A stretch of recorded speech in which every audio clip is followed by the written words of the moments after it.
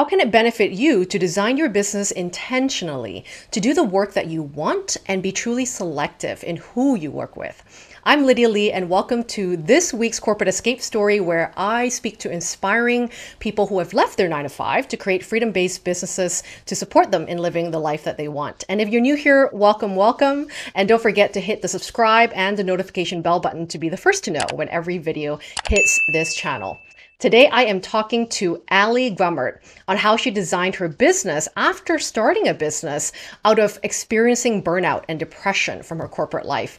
Um, Ali is the owner of Duett. She's an email marketing strategist and a conversion copywriter who helps online business owners make a killer first impression through automated welcome and nurturing sequences that engage readers, build brand loyalty, and optimize conversions for sales. So, in this interview, Allea and I talk about how she built a business that helps her maintain her well being and what she did to niche down her services and her audience to serve them in a much more effective way. She also gave, gave us some really wonderful insight on why email marketing is actually your most valuable marketing asset for an online business and how you too can build long lasting relationships with human focused conversations. I'm excited for you to jump in in the interview. Okay, well, thank you so much for being here. I know it is evening for you, morning for me, and we're in summer and winter clothes. So yes. thank you for coming on the show today. thank you for having me. I'm excited to have this conversation. I know when I kind of, you know, I'm a big follower of yours and your brand and your and your email list. So when I've been reading a lot of your your stories and sort of how you help people, and I'm like, you know what, I really need to get Allea on the show because I not only love the work you do, which we're going to talk about today, but I kind of I really love the way you've approached how you do business, right? In a way that is your personality type, which is what I'm all about. Uh, let's kind of keep honoring who we are, right, as we do business. Um, and so as we start as we start these sorts of conversations, I like to ask something personal to kind of kick it off, uh, which sure. might not be a question you've been asked before in other interviews. Uh, but my question I love to ask is, how has your family and cultural background shaped your identity? And how has your own personal identity shifted as an adult? Okay. Yeah. I mean, the first one that comes to mind, I'm a Midwestern girl. I grew up in a town of 115 people in small town Nebraska. Um, so the the hardworking, the hard work ethic is definitely just part of it. It's like you show up, um, you don't expect others to do your work for you. Um, so that's that was ingrained in me probably from my father. I can just mm. he doesn't he's, he's a man of few words but it's like allison do the work. Like stop complaining and just do it. Um, so that's probably where that came from. And then as an adult i've actually had to work through that. Um, i tell you what like business ownership is like it's the biggest shift in your mental game I don't know. I've never been married. Maybe marriages, but like as far as for, it goes for me, owning a business has had to require a lot of emotional and mental change. And so for me, hard work, while such a good thing, can just be another source of like productivity and getting burnout mm. because you don't actually know how to rest or when to say, "Hey, I've actually done enough." So that's actually been something I've been working through over the last few months of like what would it look like to be unhurried for the things that don't need to be done today, not getting done today, which is a complete shift from my upbringing. Of course, like my hard work ethic is what has gotten me here. So now it's a matter of reversing that a little bit to find a healthy balance. Mm, I love that, and I and I have a very similar background. You know, my my parents were immigrants from Malaysia, who has instilled in my mindset it's like you better work twice as hard as everyone else. You know, because we have to make it here. You know, uh, and and I too am very thankful for that that sort of work ethic because I you know like you, it sort of brought me places. But it's kind of almost knowing how to balance it to go. Okay, I can activate that when it's the right circumstance, and then when it's not working anymore, I can also activate a different, more easeful part of me right? Where it's like nothing maybe needs to be this hard, you know, that, you don't have to sweat blood and tears to get somewhere, right? right? oh, for sure. Like I'm that girl, like it would just be the end of the day. And I'm like, where did the last hour go? Like, what was I mm. doing that, that I needed to feel productive? So I just kept clicking around when in reality, I should have closed my computer and gone for a walk and my life would be a right. lot better. right. So you you mentioned to me that you know your your instigation or your the thing that instigated you you know to start your own business kind of came through a burnout right and and mm-hmm. depression um, mm-hmm. and this mm-hmm. is also very similar to how i started because i didn't know when to stop so it need my health needed to take a toll and put me down in order for me to kind of have a wake-up call um, so what happened you know in the sense of you felt this burnout and depression and, and almost when we think about burnout and depression the last thing we probably are thinking about is starting something new and you know putting ourselves into uncertainty. Um, sort of what happened there to sort of give you that kind of fuel through something uh, as like a depression and, and burnout to make you want to be an entrepreneur? Oh, great questions. So, leading up to things, I was actually working in video production. I'd been there for five or so years, but I'd also been building a blog on the side for a year and a half or so. By the point that one of my best friends was starting a business, and I just in the evenings I was kind of consulting with her and giving her in like input for fun, you know. And it just between that and then my day job, um, which I had been doing cold call sales for like the majority of the year. And so that didn't help. Plus, I went through a breakup. Plus, I had to move mm. twice in three months. So, like, things were just kind of piling on. Also, that fall, I had to get glasses for the first time as an adult. I was like 28, and I'm like, all the that things. was the that was the final straw. Can I tell you a quick story? I went yes. to America's Best for my glasses for my fitting, and I can't even do it with a straight face the person like has me put the glasses on and I just look at it, look at myself in the mirror and I go, so this is what I'm going to look like. like for the rest this of my life, I have to wear glasses. Like that had tipped the scale. Like every, it sounds so minor, but by that point it was like, oh, I can't do yeah. anything. Yeah. What so, else do you have for me, life? what else? Right. and so there have just been so many shifts and changes. And I wouldn't have really known it was depression if I didn't have a friend point it out um because mm. it had kind of been over the course of the next year. So still while working a little bit part-time in my old job while working alongside my friend and her new agency. So about a year of just kind of everything being in limbo. And then in august of 2018 i started my business. And at that point is where i would have noticed that it was really more depression. And my friend noticed, she was like, You're taking good care of yourself and all these other things, but my emotional peaks and valleys were not really there. Everything was just mm. kind of mm. low. And as somebody who is like a really like happy go getter, um, I'm really grateful for my friend. She works with um, postpartum moms. And so she's like, This is something that I see. It's not necessarily like a deep, dark depression where um, you can't get out of bed, but it was something that needed to be addressed. And so I was really grateful that she pointed that out. So for me, I actually ended up um, my friend who wanted to start an agency and like build that together, I actually turned her down. And she's one of my very best friends. And this was a very tough conversation because we'd always said in college we'd want to start a business together. Um, but I had a lot of reasons why I didn't want to, namely being that she was like married and having kids, and I am single with now six houseplants, five at the time. And, you know, like that looks really different for co owners of a company. Um, and especially if I looked at the future of that company and being like, you're, you're going to have kids going to college. I might never have kids going to college. We had to decide like how to spend money in a company.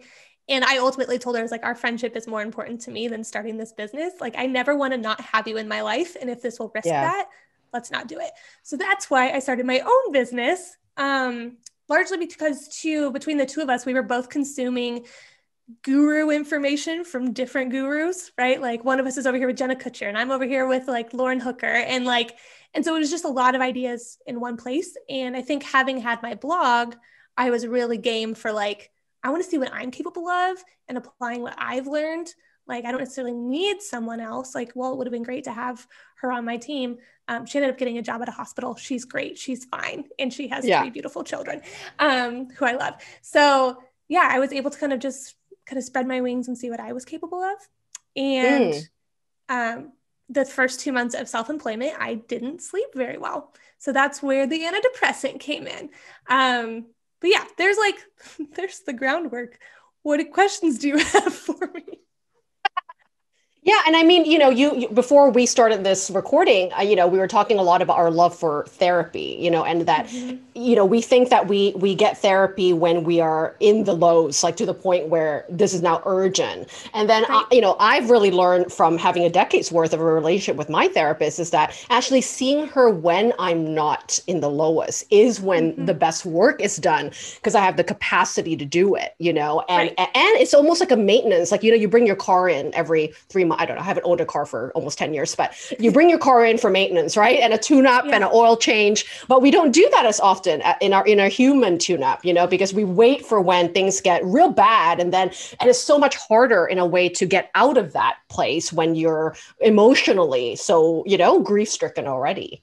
Right. And for me it was I had, you know, I spent the first year and a half of my business like kind of relying on other people or relying on my business coach and it kind of got to the point, if I'm honest, where it was like I could either pay her more to affirm all of my choices and to tell me I was doing a great job all of the time, or I could go to counseling and figure out why I wasn't able to really tap into that permission myself. Mm. And so, mm. um, yeah, so I've been in therapy for the last year. Um, I just got the nod of like, you can come back in when you need to see me. And I was like, I graduated? Are you saying I graduated? um, and so, you know, anything that makes it feel like a celebration, a year of really hard work um, mm. and going like twice a month and having those conversations, but it was worth it, you know, because like I said, business ownership is such a mind game too. It's like, mm. oh, I didn't realize all my insecurities w- were being laid up on my virtual assistant. Cool. That's why I was crying maybe that's something I need to address and it has nothing to do with her, you know, like, um, but thank God for therapists. Yeah, definitely. And, and I mean, I always say that the first year of business is like 10 years of therapy. It's like everything is sort of right there in your face. And if you are into growing your yourself, I think I, I can't think of another vehicle that really brings all of that out for you where you know what you do in your business is how you you do life you know in a lot of other ways. But it's almost so obvious you know because it's right there in front of you and you get to see it because in our day-to-day lives it's, it's sort of hard to to be conscious sometimes when we're in that sort of mundane or routine style living you know we're kind of seeing the same people doing the same job going to the same gym eating the same food that is actually hard to kind of think outside of like hey is there anything here that is not working for me anymore because we're mm-hmm. sort of on autopilot right um, I want to talk a bit about how you insured because I know one of the things that you know I didn't learn from the the first time I had a burnout and a, and, and depression and a health scare was when I was in corporate. And of course I got a therapy a, a therapist and so forth. But I didn't at that point really think that deeply about decisions I had to make in my business as a new oh, yeah. entrepreneur to ensure that I don't come back to the same place, except that I have no one else to blame but myself because I'm the boss, right? And so it didn't, it wasn't until my third year of business that I had my second massive burnout as an entrepreneur that that was the only time that I went, wait a second, I have to really think about how I'm showing up for my business that is mm-hmm. bringing me this unhappiness and, and, and dissatisfaction. Um, but you might have been a little smarter than me and thought about this more in the beginning of like maintaining your well-being um, like did you what were some of the the the healthy you know conditions that you committed to in yeah. order for your business not to to bring you to a place of unwellness and depression I have a few that are coming to mind, and I'm so excited to talk about them. Um, so before I forget, so you can remind me, one is how much I charged. Two was the kind of work I did, and three were the kind of clients I worked with. Okay. Oh. So um, I had seen friends who were virtual assistants and working at nine o'clock PM because they right. just had like 12 hours work a day. And I was like, that's a no. Like just knowing off of like coming off of, you know, a, a lot of uncertainty the year before and then kind of going out completely on my own. I was like, I can't afford to just, I can't afford to work that much and not have a social life because that's what gives me life, right? And I don't live like a crazy social life. Like I go to a coffee shop like once a week and I'm like, yes, relaxation.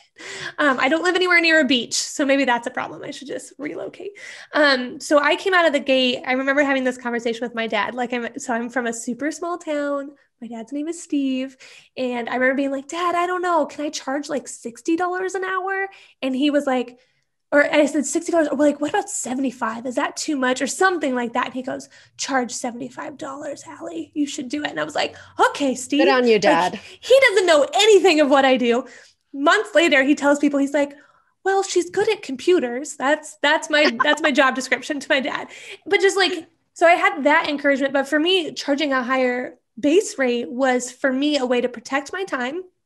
And little did I know, it also protected me from tire kicking clients who just like the thing is, if you don't charge enough, like if you charge less, you get treated worse. It's like a science. So I don't know where the curve is, but it was like $75 an hour did it. And that's like what I was basing my projects off of at first. Um, then secondly, it was the type of work I was doing. I had thought about being an online business, uh, was it an OBM, online business manager? Um, yes. because I did project management and video production, and I've always been really good at managing teams. And I love creating templates, like nerd level 10,000. Like that's where I'm at.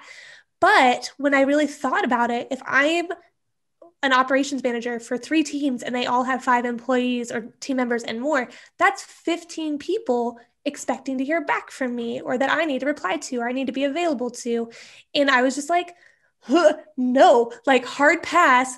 That's too many variables. Like I was right. like, I just I can't have that many variables because I can't have anybody expecting that much of me. That sounds terrible. Right. But it, it reminds me too of like early the first year of business. I like basically Saturdays just laid horizontal on the couch. Like it was just a straight up recovery day. And I was like, if any friends want to see me, they come here. Like I can't be anywhere at a certain time wearing certain clothes and act like having to be upright. Like it's just not going to work. So it's the same kind of thing. It's like I can't have people expecting too much of me because I don't know when I'm, you know, where my limits are. And so, yeah, setting that base price um and then the kind of work I did. So I ended up doing email marketing. And so that was something where I could really niche down to. Uh, and it only took me a couple months to realize I didn't want to do OBM work mm. and I couldn't be a general marketer. Talk about stressful. People are like, oh, you do marketing? Can you get me on like Google? And can you right. like run a Facebook ad? And can you rewrite my website? And you're like, oh, marketing is like big. There's a yeah. lot here. Um, and Definitely. I studied advertising and marketing, and they only teach you about agency life they don't you know talk about like if you're a one person show maybe just pick right. a specialization hmm. um, and so i ended up focusing on email marketing and that was something that i had a little bit more control over and even then i only do automated email sequences because i mm. can't live with launch stress maybe for my own business but not for somebody else's like if that email goes out the wrong day i will just be in a puddle of despair like i can't have that and then lastly i also yeah picked out I say this, picked out really great clients to work with. And by that, I mean, I rejected people that I knew weren't going to be a good fit. Right. So I had some people early on, like this, the first week of my self-employment that was like, oh, this would be, a, this would be a fun project. And then somewhere in the interaction, your gut is like, nope, this person might be a little cray cray and make my life miserable. And, and I just had to say to myself, like, I was basically saying it to her, but in my head, I was like, lady, I am no worse off, literally no worse off by not ha- like not working with you than I was a week ago when I didn't have a business. Like it's not worth it for me to risk my mental health and how you mm. might make me mm. feel like crud if yeah, just because I just because I need a project. It's like I would rather wait and just work with people that would really appreciate the work that I'm doing. And so oh, I, to this I, I day, I've I've never worked with a PITA client. Like I love wow. all of my clients.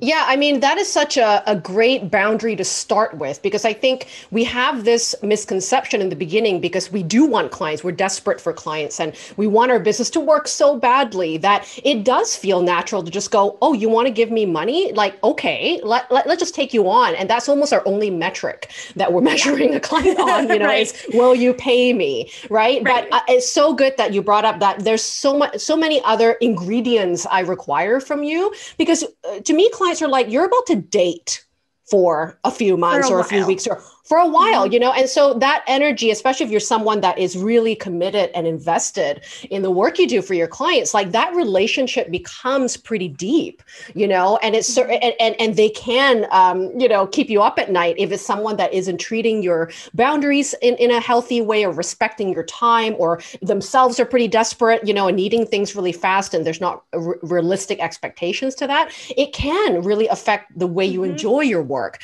And, you know, it, it sets the tone own. And I know this because I was on the opposite side of the spectrum is that I didn't have boundaries when I first started a business because I was a people pleaser and I just, you know, as my mother said, work hard, take whatever you can get. And so when I, you know, acted in that that pattern of behavior, I remember thinking, I don't think I'm cut out for entrepreneurship, having that misconception because I, it was so hard to show up for work. And, and little did I realize was actually about, you know, I was now, if I took, if I say yes to this client, what it's actually doing is is setting the tone for what to expect or what I'm willing to do to get a dollar. And and that was something I didn't realize till a little bit later on. But you know, that is such a good point to make that even when you're starting from the beginning, be very consciously selective of who you want to date as clients so that you are building the environment and the ambience of what to expect or what you're willing to do for for, for profit, right? Right.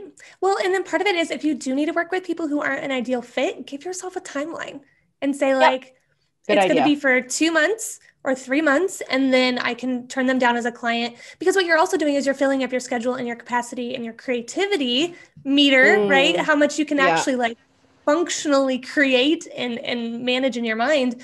Um, by having those clients that aren't a good fit, it's it's blocking that from you getting clients who would be a better fit for that. Mm, so like, that. and and that's just like I literally said like we are literally human resources. Like there's only so far we can go and stretch.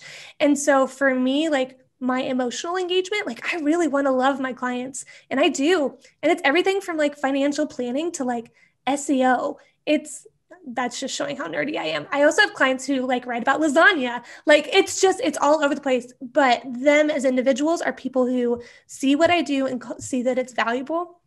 And also like when when my clients sign on, it they pay within like an hour 50% down mm. on like a f- over $5000 project like these are people who are not they're not here to penny pinch they're not here to right. like talk me out of something or change my packages they see me as an expert and they go well if that's your process we'll do your process like there's just no questions really mm. um, and that's how i know it's a good fit too because i do i do love leading the process for them email marketing is not easy for people to understand they don't know where to start. And so like i am i'm guiding them through the process and they trust me when they come into my doors that that'll be the case. And so there's a mutual respect there. Like i respect them as the subject matter expert and the one who knows their audience best but i will guide the process on making sure that everything mm. gets completed yeah.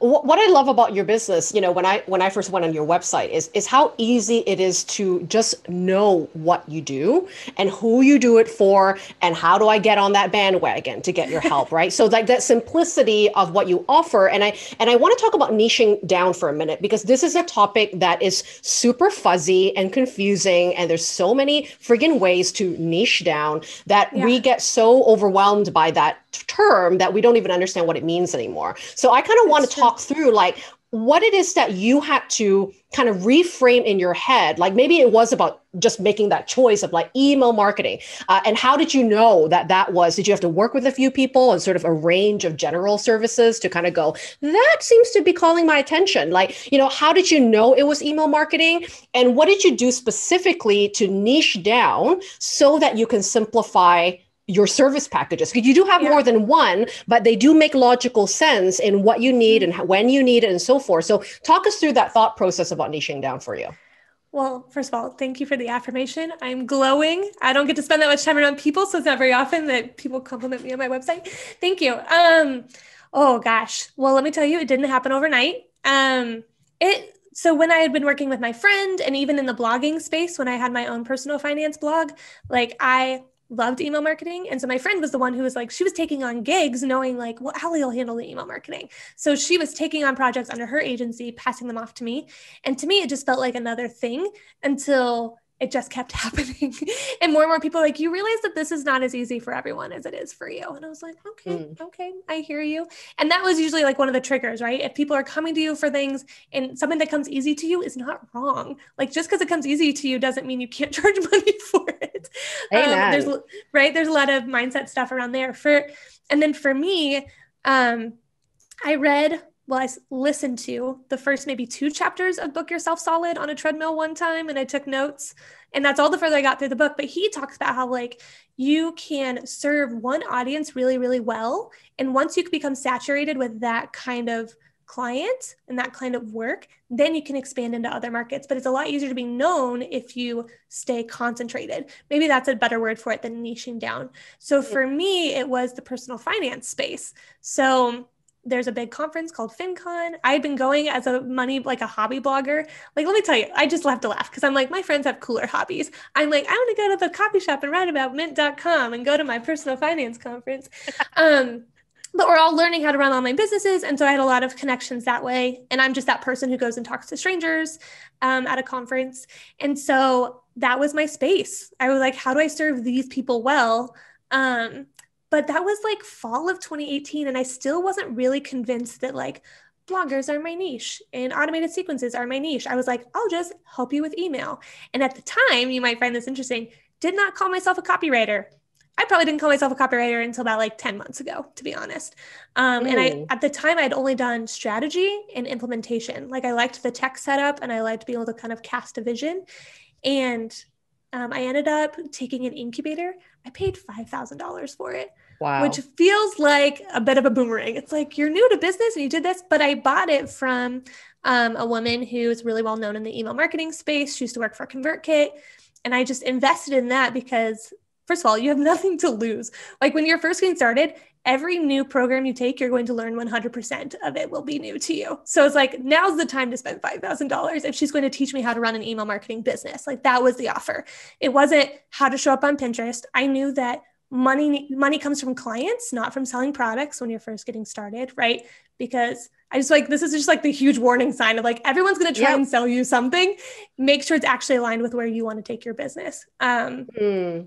And so in this case, it lined up really well. And I was like, I can learn from this woman. I'd been following her on Twitter for years. And I did. And everyone in that incubator, I swear everyone was like e commerce or SaaS focused, like software as a service. And like months later, I'm like, I think I think I want to serve bloggers, but is that wrong? Like, no one else is talking about bloggers.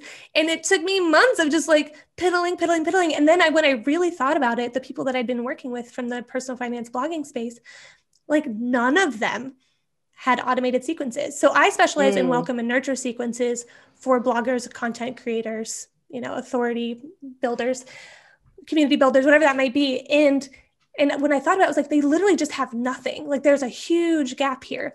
They're just sending a broadcast email, but they've done nothing to nurture this relationship.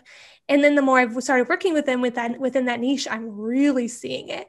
It's like, man, you mm. could be mm. segmenting your audience. Like you have beginner personal finance stuff here and advanced investor stuff here. We need to make sure that's going to the right people. And so I just came in and did like a little clean sweep. and then like, yeah, so that's how I ended up picking out my niche. Like I had the blogger space. And then after I was in it for a while, saw um, this particular part of email marketing because for me, like I get excited. I call it the Duett debut. That's yeah, I love it. Show hands because it's like this is your debut to your new subscribers. How do we craft this so that it's really clear who you are, why they came to you, and how you can solve their problems, and what resources you have available to them, whether it's paid or a blog post, whatever it is, and that you can build relationships with people, and that all of the people on your list are getting the same experience no matter when they've joined your list. So that is the full story of how I ended up serving bloggers with welcome and nurture sequences. So it's super niche down. I'm like yeah. niche down in multiple ways, both in my like the types of clients I work with, um, and then the type of work that I provide. So like I don't do yes. I'll, I'll I don't really do launch copy. I'll do evergreen sales copy, but I don't do anything that has to be sent out live because your girl's anxiety can't handle that. yeah, I mean, and that that is a very good reason to say no to something, you know, just yep. because it's it's marketable just because it's profitable because obviously launches are profitable and they would pay you a, a great beautiful penny you know to do yeah. that right uh, but it's sort of is about do you want to do it at all you know because it just can't be about whether it's a profitable offer you know it has to be am i going to have fun doing it and i think you know your your niche is so is over just in that space is already uh, so so necessary right you and i think mm-hmm. there's something about the abundance mindset as well versus the scarcity mindset of like believing that I have to offer so all the things under marketing in order to get a client because they want more from me, right? Mm-hmm. And and I think your mindset is about well if i specialize in something instead of being a generalist then i'm actually going to give you more value and get more uh, stuff done for you because i'm all about this only Yes. Right. And like I have clients coming to me and it's so interesting. Most of the clients who come to me are like, I'm finally ready to do this. They've thought about this for years and like I just happen to be available and ready to do it. and, and and then the way that I can serve them is like I don't need a nickel and dime any anyone. And I want to like I'm big into making sure that my clients understand how their platform works and understands how to you know get the most of it i work my way out of a future job like essentially because i've got it all set up and i'm like and then you just tag emails onto the end and they're like okay.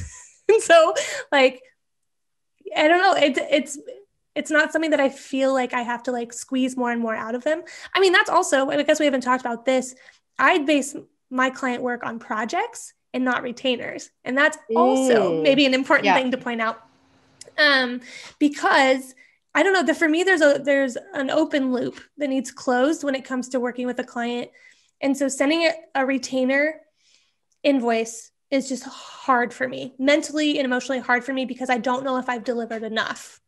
Like mm. I, I think this is the Midwest daughter in me that's just like have you done a good job? I don't know. Have i delivered everything that they've that i've said? I don't know. And like the and I didn't want to do it by hours because I didn't want to like be tied to my desk. And so I set up my my client work by project so that way I know when I'm ready to send the final bill, it's because it's done. And I yes. can rest at night and know like it's completed and yeah, that gives me so so much peace of mind. And I've just got a I've got a spreadsheet where I keep track of like who's starting when um and then how many people are over schedule, which happens. Um but yeah, like that's also just part of like I'm working through a project. These are the eight different weeks and where where are we? What are the steps that need to get get us from A to B and know that the project is complete and that they feel good and done too. And then they don't have to commit month to month forever. Like so that's another boundary. I'm not creating people's weekly emails. I mean, I'm creating 15 of them, but I'm not creating them on a week by week basis. You know, I'm right. creating the automated emails that are most important that everyone gets and then I teach them how to take their month their weekly emails and then repurpose those. Yeah, I love that you do that because you know it is is an expectation that people have when they hire you. It's like we start here and we end here, and there's mm-hmm. understanding of what that value is. You know, and and for you as a service provider is is knowing when you stop, when mm-hmm. when it's the boundary of when you stop, and, and, it also supports you in creating a bit of a framework, right? A process yes. of of what you take every client on because I think that is one thing that you know because I uh, you know a lot of freelancers and people that sort of do service based work um, will charge charge hourly instead of sort of value based pricing. Mm-hmm. And and and and that is hard for them to have a system around what they do for work because every client is unpredictable or every project is different in some way right? And so it's really hard to have templates really hard to have a checklist really hard to know that spreadsheet right of the eight things you have to do for the client when every client is going to be sort of we can start here and then we might end there you know so i love that you mm-hmm. have a framework you have a process and looking at so your two main offers from what i remember is having that sort of debut uh, Duett debut which is i think an audit right sort of an audit of your existing is that correct i have so the, the audit is just its own thing and then it, we oh, go sorry. into the Duett debut yep so the yes. duet debut is like right. the big one um yes, yeah so exactly. the audit sorry. is like figuring out like what is happening here and where is it that we want to go what would be the game plan for making that happen and then the Duett debut was actually executing on that so that's the research right. the strategy the copywriting yeah. which now i have confidence as a copywriter i feel like we got to close that loop too guys i am a copywriter but i've learned that as a copywriter i write better because i have research and a strategy that's what makes mm. me like i don't mm. just I'm not, I'm not like and i'm a creative person who sits down and writes for like that's just not i'm not that kind of writer um, I'm a marketer who can write and can clarify mm. things. And then mm. we still do all the tech setup. But a huge reason why I can't do hourly either is because I'm developing a team too. Um, but value based was important to me even before I had a VA helping me set up my documents or set up, you know, ConvertKit for a client.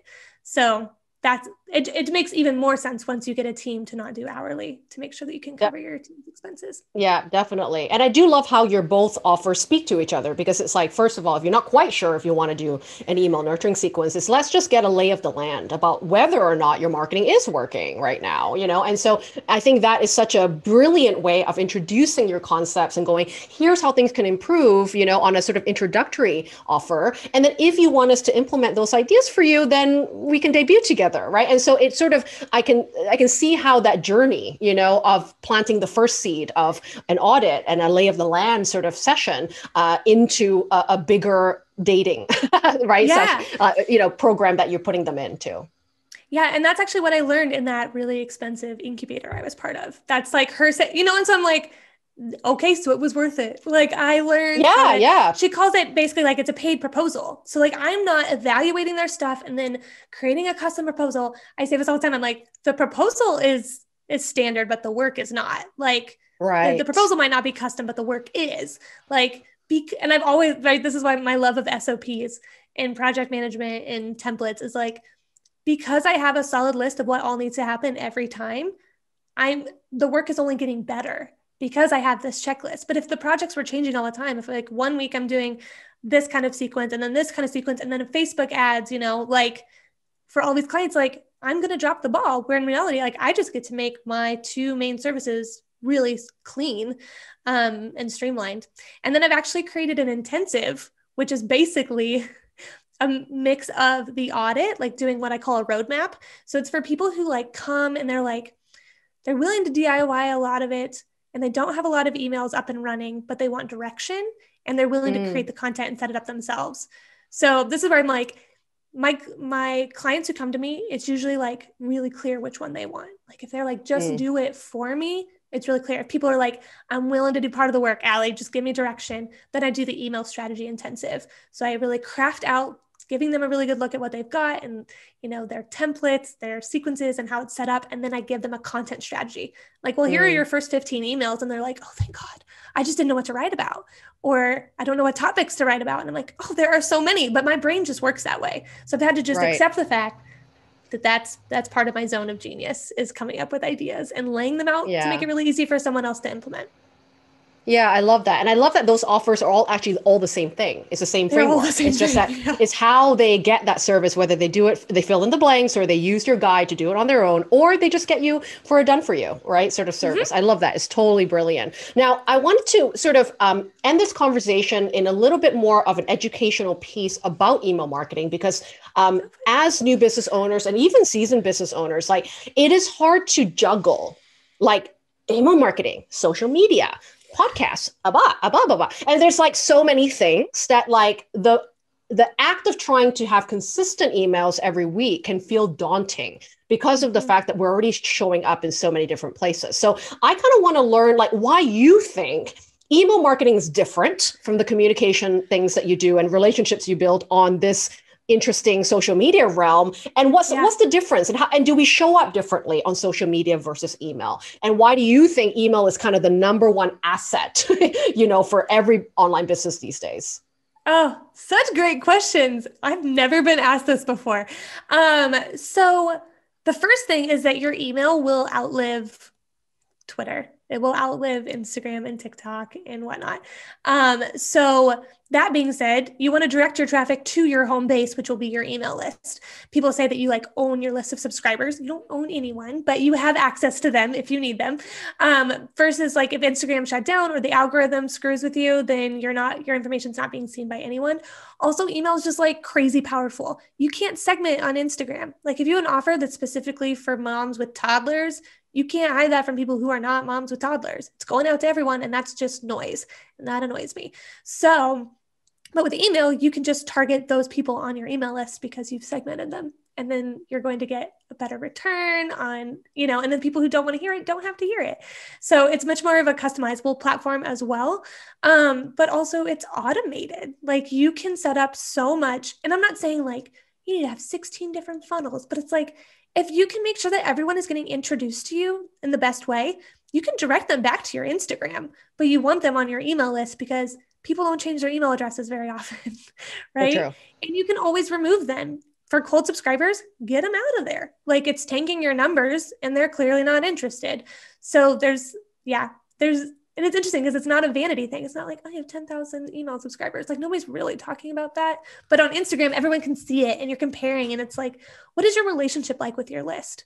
Like I sent out a survey to my list in January and I think I had like 12% of my subscribers complete like a 16 question survey. That's a commitment. But 12%, I'm like, oh my God, they love me. I have that many people. Will, like, that's a good return on people filling out, you know. So, like, that's how you can measure the health of things versus mm. just these vanity numbers. Um, what else? That's a lot of it. Did you have a follow up question with that?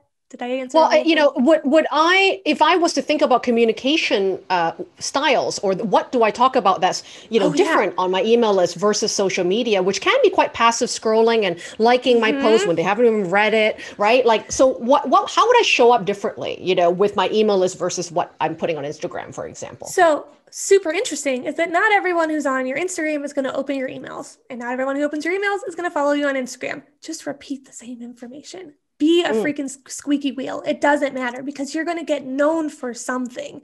Like I I still don't run out of things to talk about with email marketing. And I'm not ashamed that like yeah, this thing that's on Instagram came like my Instagram captions get pulled from my emails. So um yeah, like be known for something. Don't feel like you have to mix it up all the time. Like stay in your lane and be consistent. Um, for me, what I do is I think through like four different themes of content and I just rotate through those, but the topics are different. So, mm. insider scoop mine are the value of email marketing. So, like why email marketing matters, um, email content. So, suggestions on what to put in emails. Uh, one of those is like why you should use GIFs and here's how to make them. Like, right or, or why you shouldn't worry about things like using GIFs because people are like, are people going to think I'm unprofessional? I'm like, let them think you're unprofessional. You're human and you're fun and you're an online business owner. You can do whatever you want. Um, another one would be the technical side of things, so setting up segmentation, and then another one would be like a sales email. So even though most of my clients don't come none of my clients have come through my email list. To be honest, the people who are my done for you clients, they're not out there joining email lists, and I'm aware of that.